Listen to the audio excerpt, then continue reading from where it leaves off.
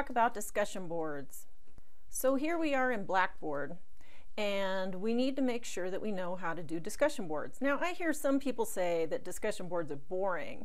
You know discussion means talk, right? How could that be boring? That's going to be totally fun. So here's how we find them. You got to look down your menu for your class and find the word discussions. There it is. Okay, when you get there, there's all kinds of stuff like math help Q&A. Let's check that out.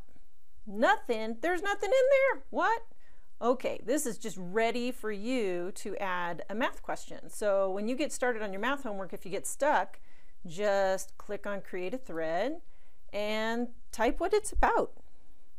Okay, so there's your topic and inside the box just type what's going on. You could even put a specific problem, you could put a photo clip or whatever you want. And then when you finish describing what your problem is, just hit submit. There's the blue button, see it? Okay, and now everybody else in the class can see that somebody else has a question about dividing rational numbers. And so whoever wants to answer it can just get in there and answer it. And that could be you.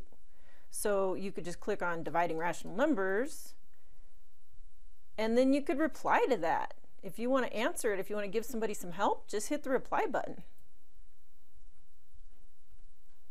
Okay, now you can reply. You just click in that box and type all your wisdom right there, and somebody will really appreciate that. You know, just keep it friendly so nobody feels bad, but this should be a great resource for people helping people.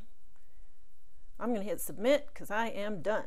Okay, let's see what else was in there. Let's go back to discussions. All right, so here's another thing, introduce yourself. Now that's in one class, but it's not in every class. So if you see something like that, that's an assignment. Check it out. Notice there's instructions right here that has a due date and all the instructions about what you're supposed to do. You're supposed to, guess what? Introduce yourself. Okay, let's try it.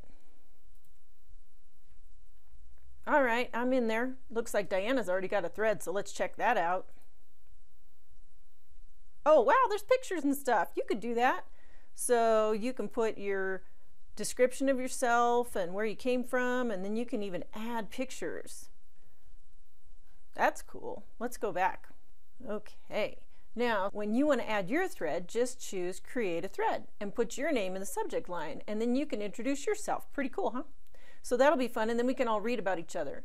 And then after you read somebody else's, you might find out that they're into some of the same stuff you're into, and you can make a reply. And that'll be really fun. It'll be a discussion, right? See, how boring is that? That's totally fun. We're going to have a great time with this. Okay, let's see what else is in here. What is that? Diana's defaults and deliberations. Well, in all of Diana's classes, you're going to find that she's got an area like this where when she thinks of some good idea or something she thinks might be helpful for you, she's just going to throw something in there. So it's kind of like a little uh, constant chat from Diana. And you can check it out at any time and see if she's got something to say. Ooh, she does. I'm not going to open that because I want it to be a surprise. But you should always check there because she's usually got things going every week where she talks about, hey, here's what's going on this week and here's what will help you be the most successful. All right. So that's what discussions are like. They're super easy to use, and I think you're going to have a great time because it's like talking, and that's fun.